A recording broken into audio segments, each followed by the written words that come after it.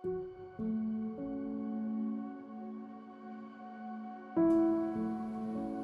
and welcome to our final day in Iceland. On this last day we spend our time in Reykjavik and have a few relaxing moments at the Blue Lagoon.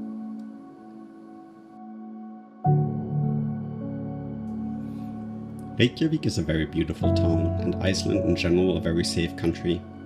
But even in a safe country you will find the occasional brawl between homeless people on the street. In the old town you will find wonderful cafes. We definitely recommend you stop by Sandholt, the usual souvenir shops and nice eateries in general.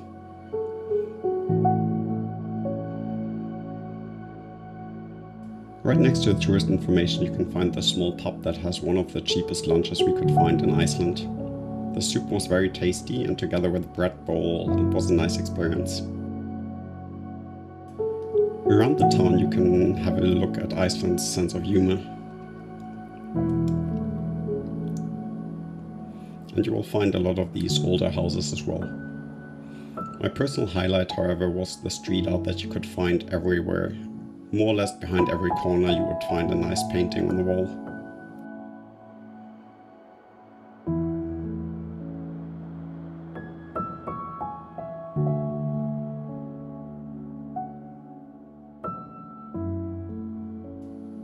So if you have a relaxing day, just spend a bit of time walking around the streets of Reykjavik and explore.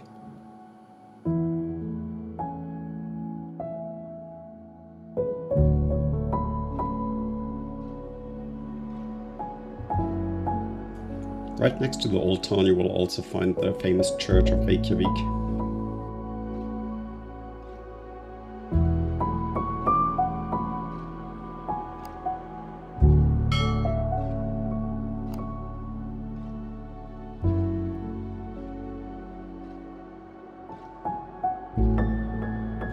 Geothermal plant here marks the entrance to the Blue Lagoon. The Blue Lagoon used to be an environmental disaster, but clever marketing turned it into one of the most well-known tourist attractions in Iceland. Within the entrance fee you will get access to one of the local spa treatment packages and a drink at the local bar. At least during our stay the lagoon wasn't too crowded, you could always find a nice spot to relax. If you're looking for the warmest water, find one of the inlets.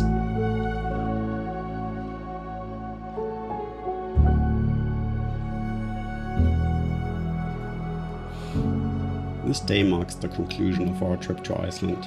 Thank you for traveling along. If you liked our video, please consider subscribing.